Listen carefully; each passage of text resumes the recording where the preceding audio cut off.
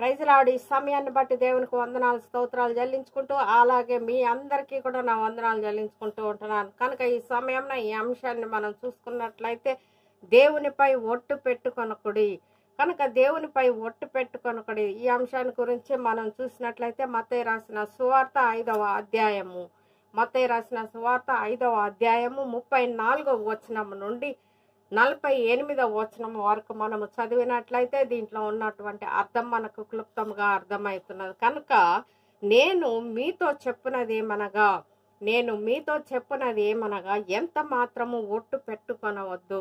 కనుక మనము ఎంత మాత్రము కూడా దేని మీద కూడా మనము ఒట్టు పెట్టుకొనవద్దు. మనం చేసే పనిలో అయితేనేమి మనము ఎక్కడైనా ఏ విషయాలనైనా కూడా మనము అబద్ధం ఆడుటలో కానీ ఒట్టు పెట్టుకున్నట్లో కూడా అలాంటివి చెయ్యకూడదు అని దేవుడు ఇక్కడ మాట్లాడుతూ ఉంటున్నాడు. కనుక మనం చూసినట్లయితే ఆకాశము చూడవద్దు అంటే ఆకాశముతో ఒట్టు పెట్టుకొనవద్దు.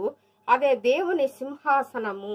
ఆకాశముతో ఒట్టు పెట్టుకొనవద్దు. అంటే చాలా మంది ఆకాశముతోడు మనుషులతోడు మరి తల తల మీద ఒట్టు పెట్టుకొనడం ఇలాంటి అన్నీ కూడా ఈ లోకంలో చేస్తూనే ఉంటున్నారు. కనుక కొంతమంది తెలియని రీతిగా ఆ విధంగా చేస్తూ ఉంటున్నారు. కానీ అటువంటి వారికి దేవుడు మాట్లాడుతూ ఉంటున్నాడు. కనుక మనం చూసినట్లయితే ఆకాశము తోడు అనవద్దు. ఎందు నిమిత్తం అంటే ఆకాశము తోడు అని అన్న ఎడల అది దేవుని సింహాసనం అయి ఉంటున్నది. కనుకనే ఆకాశము తోడు అనవద్దు మరి భూమి తోడు అనవద్దు. భూమి తోడు అనవద్దు అది ఆయన పాదపీఠం అయి ఉంటున్నది. కనుక అది ఆయన పాదపీఠం అయి ఉంటున్నది. కనుక భూమి తోడు అని ఒట్టు పెట్టుకొనకుడి. కనుక అదే రీతిగా మనం చూసినట్టయితే ఎర్సలేము తోడు అనవద్దు. ఎర్సలేము తోడు అని కూడా ఒట్టు పెట్టుకొనవద్దు. అది మహారాజు పట్టణం ఉంటున్నది. అది మహారాజు పట్టణం అయి ఉంటున్నది. కనుక ఈ విషయాలను మనం జ్ఞాపకం చేసుకుంటూ ఉండాల. కనుక చాలామంది కొన్ని కొన్ని విషయాలలో మరి ఆ యొక్క విషయాలలో వెంటనే ఒట్లు పెట్టుకునే రీతిగా ఉంటారు. ఎందుకంటే ఎదుటి వ్యక్తులు నమ్మనటువంటి వ్యక్తులు ఉంటారు కనుక అలాంటి వారి కోసము వీరు ఒట్టు పెట్టి చెప్పే రీతిలో ఉంటూ ఉంటారు. కనుక అలాంటి ఒట్లు మనకు అవసరము లేదు అని దేవుడు వాక్యము ఇది నాన్న సెలవిస్తూ ఉంటున్నది. కనుక అది మహారాజు పట్టణమై ఉంటున్నది. నీ తలతోడని ఒట్టు పెట్టుకొనవద్దు. నీ తలతోడని ఒట్టు పెట్టుకొనవద్దు. నీవు ఒక ఎంట్రుకనైనను తెలుపుగాను మరి నలుపుగాని చేయలేవు. నీ తల మీద ఒట్టు పెట్టుకొనకుడి. కనుక ఒక్క ఎంట్రుకనైనను మనము నలుపుగాను తెలుపుగాను మనము చేయలేదు. కనుక అలాంటి మన తల మీద ఒట్టు అనేది పెట్టుకొనకుడి అని రాయబడినట్లున్నది. కనుక మీ మాట అవునంటే అవును కాదంటే కాదు అన్నట్లుగా మనం ఉండాలి. కనుక మనం మాట్లాడే ప్రతి ఒక్క మాట కూడా అది ఖచ్చితంగా అది నిజమై ఉంటున్నది. కనుక అది అవును అంటే అవునని ఖచ్చితంగా మాట్లాడాలి. లేదంటే లేదని ఖచ్చితంగా చెప్పేవారిగా ఉండాలి. కనుక మనం ఆకాశము తోడని భూమి తోడని లేదా మరి త నా తల మీద తోడని మరి ఇట్లా ఒట్లు పెట్లు కొనకూడదు అని ఇక్కడ మనకు దేవుడు మాట్లాడుతూ ఉంటున్నాడు. చాలా మంది తెలియని రీతిలో తెలియని విధాలుగా అన్ని రీతులుగా కూడా ఈ లోకంలో తెలియనటువంటి విధానంలో చేసేటటువంటి కొన్ని తప్పులుగా ఉంటున్నాయి. కనుక దేవుడు ఆ విధముగా చేయకూడి అని ఇక్కడ మాట్లాడుతూ ఉంటున్నాడు. కనుక మనం చూసినట్లయితే కాదంటే కాదు అవునంటే అవును. కనుక వీటికి మించిన దుష్టుల నుండి ఓ పుట్టునది వీటికి మించినది దుష్టుల నుండి పుట్టునది వీటికంటే మించినది ఇంకా దుష్టుల నుంచి వస్తూ ఉంటున్నది. ఎందుకంటే దుష్టులు ఇంకా మహా రీతిలో మరి ఓట్లు పెడుతూ ఉంటారు. కనుకనే కంటికి కన్ను పంటికి పళ్ళు అని చెప్పబడిన మాట మీరు విన్నారు కదా. కంటికి కన్ను పంటికి పన్ను అనేటువంటి మాట మీకు చెప్పి ఉన్నాను కదా. నేను మీతో చెప్పున్నది ఏమనగా దుష్టుని ఎరి ఎదిరింపక దుష్టుని ఎదిరింపక నిన్ను కుడి చెంప మీద కొట్టువాణిని దుష్టుడు ఎంతోమంది దుష్టులు ఉంటూ ఉన్నారు. కనుక ఒక్క మాట మాట్లాడిన ఎడల అక్కడే మనకు గొడవలు సంభవిస్తూ ఉంటున్నాయి. కనుక అలాంటి గొడవల ద్వారా మరి అనేక రీతిలుగా మరి ఆ- ఆ యొక్క సందర్భములలో కొట్టవచ్చు తిట్టవచ్చు అనేక రీతిలుగా దూషించవచ్చు మాట్లాడవచ్చు. కానీ అలాంటి విషయంలో మీరు ఏ రీతిగా కూడా మరి దేవునిని బట్టి మీరు తగ్గించుకొనడి అని ఇక్కడ మాట్లాడుతూ ఉంటున్నాడు. అతడు ఒక చెంప దెబ్బ కొట్టిన ఎడల మరలా ఇంకో ఎడమ చెంప కూడా త్రిప్పుము అని ఇక్కడ సెలవిస్తూ ఉంటున్నది. ఒక చెంప దెబ్బ కొట్టిన ఎడల మరల ఎడమ చెంపను కూడా మరి త్రిప్పుము. ఎవడైనా నీ మీద వేద్యమాడిన ఎడల ఎవరైనా కూడా నీ మీద వేద్యమాడిన ఎడల మరి ఆడిన ఆ నీ అంగీ తీసుకొని నీ అంగీ తీసుకొని కోరిన ఎడల. అంటే ఎవడైనా నీ మీద వేద్యమాడి నీ మీద గొడవ పడి నీ యొక్క అంగీని చింపివేసి నీ అంగీని తీసుకున్న ఎడల అట్ట వానికి నీ అంగీని ఇచ్చివేయము అని దేవుడు సెలవిస్తూ ఉంటున్నాడు. కనుక నీ అంగీ సైతం కూడా వాడు తీసుకున్న ఎడల దాన్ని ఇచ్చివేయము. కనుక వానికి నీ పై వస్త్రము కూడా ఇచ్చివేయము. అని ఇక్కడ రాయబడి ఉన్నది. ఒకడు ఒక మైలు దూరము నిన్ను బలవంతము చేసి నడిపించిన ఎడల నిన్ను బలవంతము చేసి ఒక మైలు నడిపించిన ఎడల నువ్వు రెండు మైళ్ళను నడువుము అని దేవుడు మాట్లాడుతూ ఉంటున్నాడు. కనుక నువ్వు తగ్గింపులో ఉన్న ఎడల వాడు ఒక మైలు నడవమన్న ఎడల నువ్వు రెండు మైళ్ళు నడవమని దేవుడు ఇక్కడ మాట్లాడుతూ ఉంటున్నాడు. కనుకనే ప్రతి విషయంలోనూ ప్రతి పనిలోనూ దేవుడు మనకు తోడై అంటున్నాడు కనుకనే ఆయన మీరు తగ్గించుకొనుడి. కనుక మనము తగ్గించుకొని ఎన్ని విధాలుగా ఎన్ని విధాలుగా ఎన్ని రీతిలుగా మనము ఉన్న ఎడల ఆ యొక్క మనపై ఉన్నటువంటి శత్రువులను దేవుడు మరి అణిచివేసే దేవుడు అయి ఉంటున్నాడు.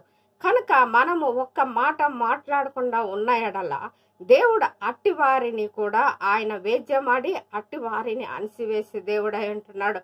దుష్టులు మరి ఎంతో లోకంలో ఎన్నో రీతిలుగా సాతాను మన మీద క్రియలు చేయొచ్చు మనల్ని ఇబ్బంది పరుస్తున్నప్పటికీ మనము భయపడక దానికి లొంగిపోకుండా దేవుని ఎడల ధైర్యము తెచ్చుకొని జీవించుడి.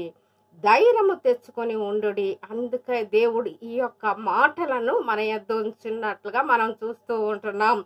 నిన్ను అడుగువానికిమ్ము నిన్ను అప్పు అడుగు వాడు. నువ్వు నిన్ను అడిగిన వారికి అప్పు ఇమ్ము. కనుక నిన్ను అడుగువానికి ఇమ్ము నిన్ను అప్పు అడుగువారు గోరు.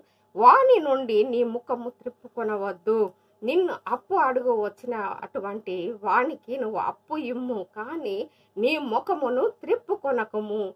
అని ఇక్కడ దేవుడు మాట్లాడుతూ ఉంటున్నాడు. నీ ముఖము త్రిప్పుకొనకము కనుక సహాయం కావాలనేటువంటి వారికి మన సహాయం చేసేవారిగా ఉండాలి.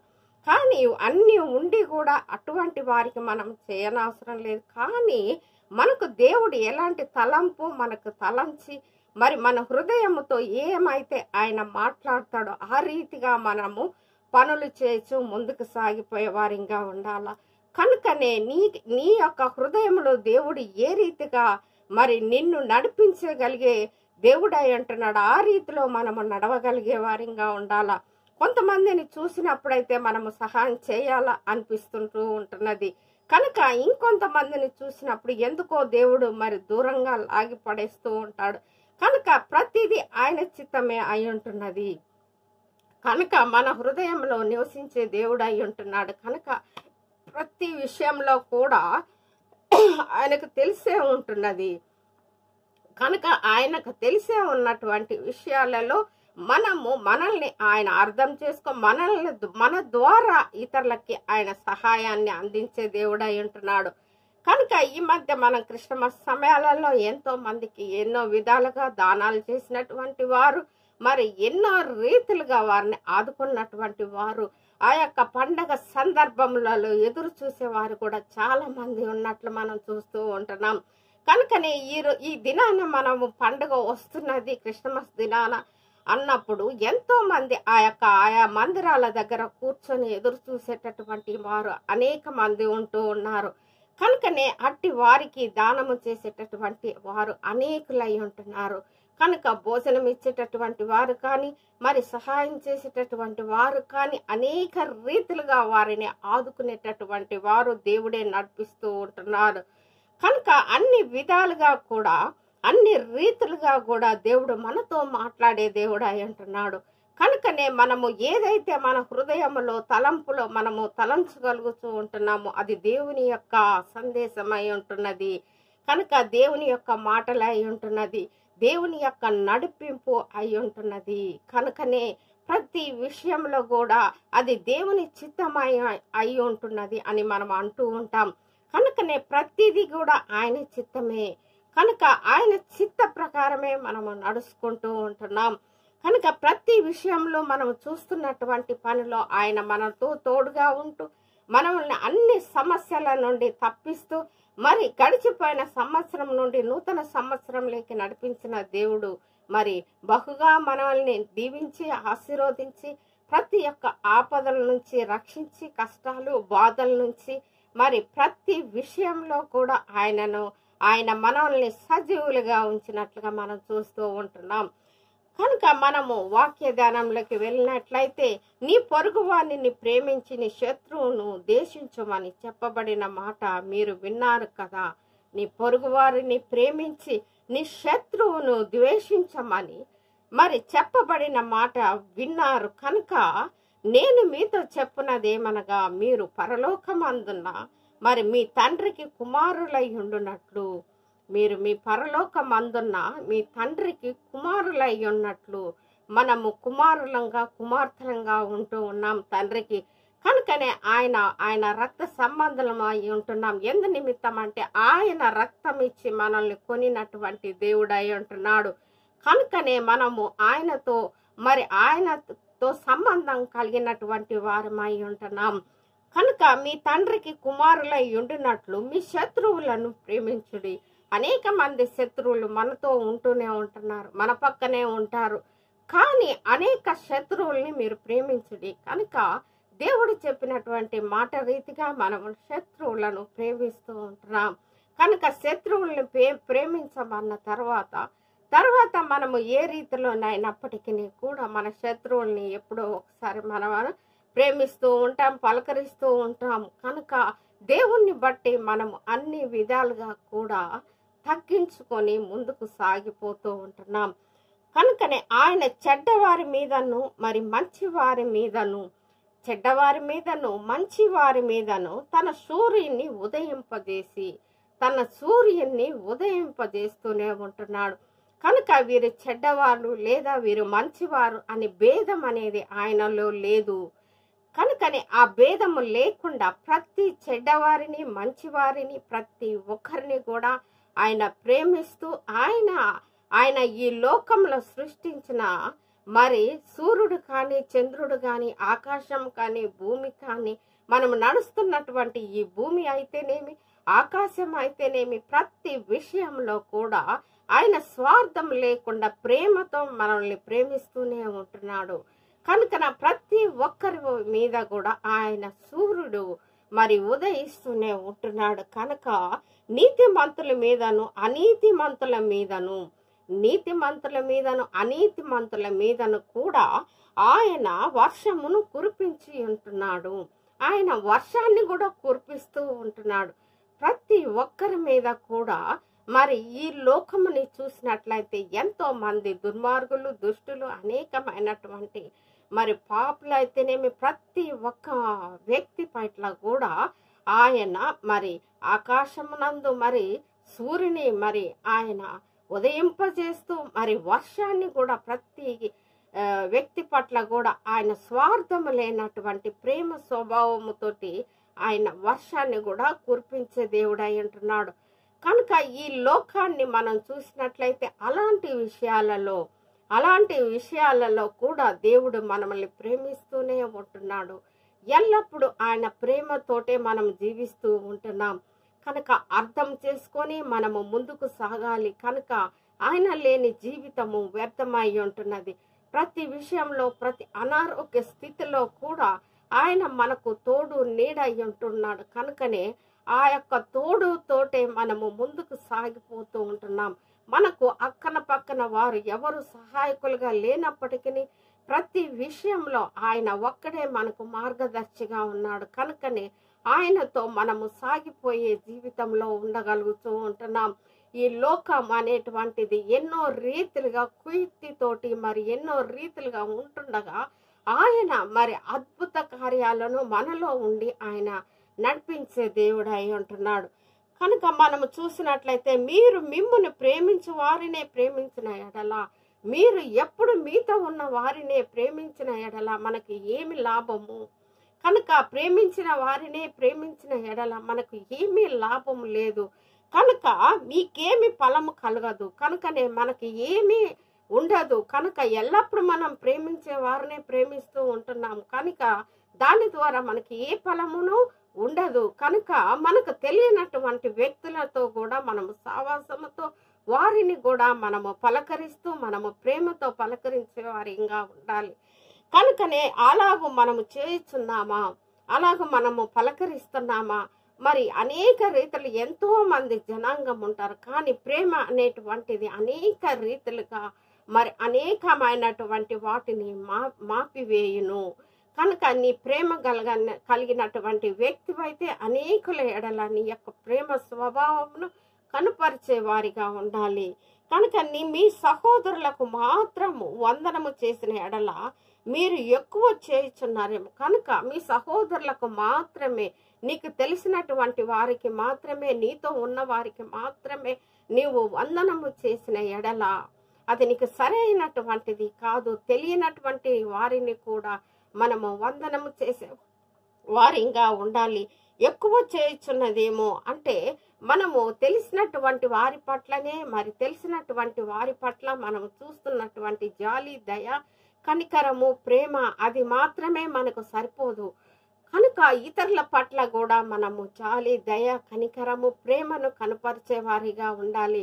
ఈ దినాలలో అసూయ అనేటువంటిది చాలా భయంకరమైనటువంటిది. అసూయను తొలగించుకున్న ఎడల ప్రతి ఒక్కరు కూడా ప్రేమతో జీవించే వారిగా ఉంటారు. కనుకనే ఆత్మ ఫలాలు ఏ విధముగా మనము తెలుసుకుని ఉంటున్నామో ఆ రీతిగా మనము ఫలించని వారిగా ఉండాలా? కనుక ఒక చెట్టు ఏ విధముగా మొద్దుబారిపోయి ఉన్నప్పుడు అది ఏ విధముగా ఫలించకుండా మరి అంతవరకు ఆగిపోవచ్చున్నది? కనుకనే మనము అలాంటి మొద్దువారిన వారిగా ఉండకుండా మరి చిగురింపజేసే వారిగా నూతనముగా మరి నూతనమైనటువంటి సంవత్సరంలో నూతనంగా మనము జీవించే వారిగా ఉండాలి. కనుక మనము అన్యజనులు అలాగు చేయుచున్నారు కదా. కనుకనే అన్యజనులు ఆ రీతిగానే చేయుచున్నారు. కనుక వారు ప్రేమించిన వ్యక్తులనే ప్రేమిస్తూ వారితోనే సావాసం చేస్తూ వారితోనే మరి ఎంత శ్రద్ధగా ఉన్నట్లు మనం చూస్తూనే ఉంటున్నాం. కనుక మనము దేవునిలో ఉన్నటువంటి వారమై ఉన్నాం. కనుక మనము దేవునితో సహవాసమై ఉంటున్నాం. కనుక దేవుని వాక్యం వినేవారిగా ఉంటున్నాం. కనుక దేవునిలో మనము ఉన్నాము కనుకనే మన యొక్క ప్రేమ దేవుడు మనకు పంచినటువంటి ప్రేమని ఇతరులకు కూడా మనము పంచేవారిగా ఉండాలా? మరి ముఖ్యంగా పేదల పట్ల పేదల పట్ల కానీ మరి అనేకులు మరి రోడ్డు పక్కన ఉన్నటువంటి మరి భిక్షం అడుగుతున్నటువంటి వారి పట్ల కానీ మరి ఏది లేనటువంటి అనాథల పట్ల కానీ మన ప్రేమను కనపరిచే వారిగా ఉండాలా? కనుక అట్టి వారికి మనము సహాయం చేసేవారిగా కూడా ఉండాలా? కనుక మనకు లేనప్పటికీ కూడా కూడా అట్టి వారికి చేసినప్పుడు అట్టి వారి సంతోషము ఆనందము మనకి ఎంతో ఫలభరితముగా ఉంటున్నది. కనుకనే దేవుడు ప్రతి ఒక్కరిని కూడా మరి ఆయన ప్రేమించి ఉంటున్నాడు. కుష్ఠరోగులైతేనేమి మరి గుట్టివారైతేనేమి కుంటివారైతేనేమి అనేకులు మరి దయ్యం పట్టిన వారైతేనేమి ప్రతి ఒక్క వ్యక్తిని స్వార్థపరులైతేనేమి ఆ దినాలలో అనేకమైన వ్యక్తులు ఉంటుండగా అయినప్పటికీ దేవుడు ప్రతి ఒక్కరిని కూడా ప్రేమించి ఉంటున్నాడు. కనుకనే ప్రతి ఒక్కరిని ప్రేమించినటువంటి దేవుడు ఆ ప్రేమను ఇతరులకు మనము పంచేవారంగా ఉండాలా? కనుక ఆయన ఎన్నో రీతులుగా ఎన్నో విషయాలలో ఎన్నో రీతులుగా ఆయన ముందుకు సాగిపోయినటువంటి దేవుడై ఉంటున్నాడు. అనేకుల్ని గత్తిచ్చి తిరిపినటువంటి దేవుడై ఉంటున్నాడు. ఆయన స్వార్థం లేనటువంటి దేవుడై ఉంటున్నాడు. కనుకనే మనము కూడా స్వార్థం లేనటువంటి వారిగా ఉండాలి. అందుకనే ఆయన పేదలను కనికరిస్తూ అనేకుల్ని బాగు చేస్తూ అనేక కుష్ఠరోగులను సైతం ఆయన ముట్టి స్వస్థపరిచినటువంటి దేవుడు. ఆయన ఏ భేదము కనపరచలేదు. ఎవరిని తోసిపో తో త్రోసివేయలేదు కనుక ప్రతి ఒక్కరిని కూడా ఆయన దగ్గరకు తీర్చినటువంటి దేవుడు అయి ఉంటున్నాడు. కనుకనే ఈ దినాన మనము చూసినట్లయితే ప్రతి విషయంలో దేవుడు ఎంతో మరి మానవుల పట్ల ఆయనకు ఉన్నటువంటి ఆ ప్రేమ ఎట్టిదో మనము తెలిసే ఉంటున్నది. కనుకనే మనము అన్నిల వలె కాక మీ పరలోకపు తండ్రి పరిపూర్ణుడు మన పరలోకపు తండ్రి పరిపూర్ణుడు అయి ఉంటున్నాడు. కనుక ఆయన పరిపూర్ణుడు కనుక మీరును పరిపూర్ణగా ఉండవలెను. ఆయన పరిపూర్ణంగా ఉండే దేవుడు అయి ఉంటున్నాడు. కనుకనే మీరు కూడా పరిపూర్ణులై ఉండు అని దేవుడు మాట్లాడుతూ ఉంటున్నాడు. కనుకనే ఆయన వాక్యంలో పదే పదేగా ఆయన వచనముల ద్వారా మనతో మాట్లాడుతూ మనల్ని హెచ్చరిస్తున్నటువంటి దేవుడై ఉంటున్నాడు. కనుక మనము చూసినట్లయితే మత్తయ్య రాసిన సువార్త మరి పదవ అధ్యాయము మరి ఇరవై యొక్క ఇరవై ఎనిమిదవ వచనము నుంచి మనము చూసుకున్నట్లయితే ముప్పై మూడవ వచనం వరకు మనం చూసినట్లయితే మరియు ఆత్మను చంపనేరక దేహమునే చంపువారికి భయపడుడి. ఆత్మను చంపనేరక దేహమునే చంపు వారికి భయపడుడి. కనుక దేహమును కూడా మరి నరకములో నశింపజేయగల వానికి మిక్కిలి భయపడుడి. నరకములో మన దేహాన్ని దేహమును నశింపజేయవానికి మిక్కిలి భయపడుడి. అంటే సాతానుకును ఈ లోక సంబంధాలకును మనము భయపడేవారు ఇంకా ఉండాలి. కానీ దేవుని పట్ల మనము ఎంతో మరి భయము భక్తి కలిగినటువంటి వారై ఉండగలగాలి. కనుకనే మనము ఈ లోకానుసారమైనటువంటి వాటికి ఈ దేనికి మనము భయపడకూడి. కనుకనే రెండు పిచ్చుకలు కాసుకు అమ్మబడును కదా. అయినను మీ తండ్రి సెలవు లేకుండా రెండు పిచ్చుకలు కాసుకు అమ్మబడును. కానుక అవి ఈ దేవుని చిత్తం లేకుండా అవి అమ్మబడు అమ్మబడవు. కనుక అమ్మబడు కదా. అయినను నీ తండ్రి సెలవు లేకుండా వాటిలో ఒక్కదైనను మరి ఒక్కటైనను నేలను పడదు. నీ తండ్రి సెలవు లేకుండా ఒక్కటైనను అది నేల మీద పడదు అని దేవుడు ఇక్కడ సెలవిస్తూ ఉంటున్నాడు. కనుకనే ప్రతి విషయంలో కూడా మీరు మరి ఈ యొక్క వచనాలు దేవుని యొక్క మాటలై ఉంటున్నాయి.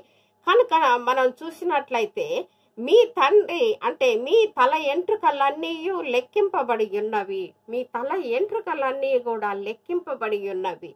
కనుక మీరు భయపడకుడి మీరు భయపడకుడి. నీ తల వెంట్రుకలన్నీ కూడా లెక్కింపబడి ఉన్నాయి. ప్రతిదీ కూడా దేవుని చేతిలో ఉంటున్నవి. కనుకనే మరి ఆ యొక్క విషయంలో కూడా దేవుడు మనకు మరి ఎంత ధైర్యాన్ని ఇస్తున్నారు? కనుక మీరు అనేకమైన పిచ్చుకల కంటే శ్రేష్ఠులు కారా? మీరు అనేక పిచ్చుకల కంటే శ్రేష్టమైనటువంటి వారము కాదా? మరి పిచ్చుకల విషయంలోనే దేవుడు అంత ఆ శ్రద్ధతో చూసినప్పుడు ఆయన రెండు పిచ్చుకల కాసుకు అమ్మబడను కదా అని అయినను మీ తండ్రి సెలవు లేకుండా అవి అమ్మబడవు కదా అని దేవుడు ఇంత స్వచ్ఛంగా మాట్లాడుతూ ఉంటున్నాడు. కనుకనే మనుషుల ఎదుట నన్ను ఒప్పుకొని వాడెవడు? మనుషుల ఎదుట నన్ను ఒప్పుకొని వాడు ఎవడో? పరలోకమందున్న తండ్రి నా తండ్రి ఎదుట కూడా నేనును వానిని ఒప్పుకొందును. తండ్రి ఎదుట పరలోకంలో ఉన్న తండ్రి ఎదుట నేనును వానిని ఒప్పుకొందును అని దేవుడు ఇక్కడ సెలవిస్తూ ఉంటున్నాడు. మనుషుల ఎదుట ఎవడు నన్ను ఎరుగునను మనుషుల ఎదుట ఎవరు నన్ను ఎరుగనను వారిని నేను పరలోకంలో ఎరుగను అని దేవుడు ఇక్కడ చెప్తూ ఉంటున్నాడు. కనుక ప్రతి కష్టమైన నష్టమైన ప్రాణ అపాయం వచ్చినప్పటికీ మనల్ని ఏవి రీతిగా అన్యులు మనల్ని హింసించినప్పటికీ బాధకు గురి చేసినప్పటికీ కూడా మనము అన్నిలు ఎదుట కూడా దేవుడు అని మనము మా దేవుడు అనేటువంటి మాట మనము ఒప్పుకునే వారిగా ఉండాలి. కనుకనే మనము ఒప్పుకున్న ఎడల్ని దేవుడు మన దేవుని ఎదుట పరలోకమందు ఎదుట మరి దేవుని ఎదుట ఆయన మనల్ని ఒప్పుకునే దేవుడై అంటున్నాడు కనుక ఇంత గొప్ప దేవుడి మనము ఉంచుకొని మన యొక్క మన యొక్క హృదయంలో ఆయన తలంపులు ఆలోచనలతో మనము నడుచుకుంటూ మరి దేవుడు ప్రతి సమస్యలను మనకు తీర్చి ధైర్యాన్ని ఇచ్చే దేవుడు నడిపించే దేవుడు ఆపదల నుండి నిన్ను రక్షించే దేవుడు అయి ఉంటున్నాడు. కనుక ఈ దినాన ఈ సమయాన ఈ వాక్యంతో దేవుడు మాట్లాడిన విధానం బట్టి దేవునికి వందనాలు స్తోత్రాలు చెల్లించుకుంటూ అలాగే మీ అందరికీ కూడా నా వందనాలు చెల్లించుకుంటూ ప్రతి విషయంలో దేవుడు ప్రతి కుటుంబాలని నూతన సంవత్సరంలో ఆశీర్వదించి మరి అనేక రీతులుగా అద్భుత కార్యాలు చేసే రీతిలుగా దేవుడు మీ కుటుంబాలను ఆశీర్వదించి మంచి బాటలో నడిపించిన గాక. ఆమెను. ప్రార్థించుకుందాం. పరిశుద్ధుడ పరిశుద్ధుడ మా పరలోకపు తండ్రి నా ప్రభా ఈ దినమున నా తండ్రి మీరు మాట్లాడినటువంటి మాటలు ప్రభా ఈ రీతిగా నా తండ్రి నాయన మనుషుల ఎదుట నా తండ్రి నాయన నిన్ను ఒప్పుకున్న ఎడల నా తండ్రి పరలోకంలో దేవుని ఎడల నేను ఒప్పుకుంటానని సెలవిచ్చిన రీతిగా ప్రభా అలాంటి ధైర్యము కృప నా తండ్రి మమ్మల్ని కలిగి ఉండి ధైర్యంగా నా తండ్రి నిన్ను మనుషుల ఎదుట ఒప్పుకొనులాగన అందరి ఎదుటను ప్రభా. నాయన నువ్వు చూపిస్తున్నటువంటి మంచి ప్రేమను బట్టి నీ కృపను బట్టి నా తండ్రి మీ నడిపింపును బట్టి నీకు వందనాలు స్తోత్రాలు చెల్లించుకుంటూ అనేక హృదయాలను తెరవమని అనేక హృదయాల్లోకి నీ వాక్యం వెళ్ళినట్లు నువ్వు సహాయం చేసి ప్రతి విషయంలో కూడా నీ నడిపింపు నీ కాపుదల నీ భద్రత మాకు దయచేస్తూ ప్రతి కుటుంబాలని ఆశీర్వదిస్తూ ప్రవ్వ నూతనంగా మ్యారేజ్ అయినటువంటి బిడ్డల్ని ప్రవ్వ ఆశీర్వదించి నీ యొక్క కృప ద్వారా నా తండ్రి వారిని మంచి మార్గంలో నడిపిస్తూ వారిని నీ కృప మెండైన దీవెనలతో ఆశీర్వదించమని వేడుకొనిచూ ఉంటున్నాం.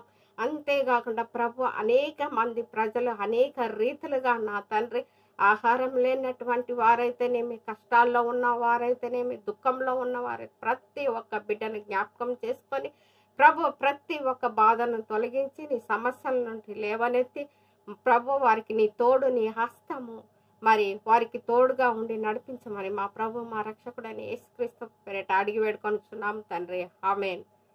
ఈ సమయంలో ఈ వాక్యం అయిన ప్రతి ఒక్క బిడ్డను కూడా మరి షేర్ చేసి సబ్స్క్రైబ్ చేసుకోమని మరొకసారి మిమ్మల్ని అందరినీ కూడా దేవుని మూలంగా అడిగి పెట్టుకుంటున్నాను ఆమెను.